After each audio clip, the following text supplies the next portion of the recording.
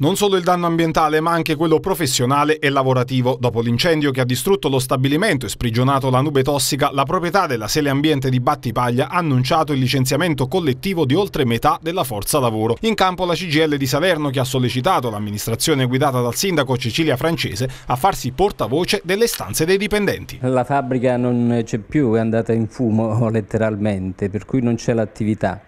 Noi abbiamo preso contatti subito con lavoratori e con azienda per cercare di capire come salvare il lavoro e l'occupazione in una terra che soffre di questo e abbiamo pensato di attivare uno strumento come quello della cassa integrazione. Abbiamo detto anche all'azienda però eh, in questi giorni, anzi oggi, ieri, è arrivata questa comunicazione di licenziamento collettivo. Cercheremo di convincere l'azienda ad attivare la cassa integrazione e non procedere ai licenziamenti. Quanti sono i lavoratori destinatari del provvedimento di licenziamento e perché? Allora, i lavoratori complessivamente sono 20, i destinatari di licenziamento eh, sono 12 naturalmente quasi tutti eh, gli operai e qualche amministrativo, resterebbero in forza cinque lavoratori che sono addetti alla diciamo, raccolta mm, della plastica nelle varie aree dove opera la, la società.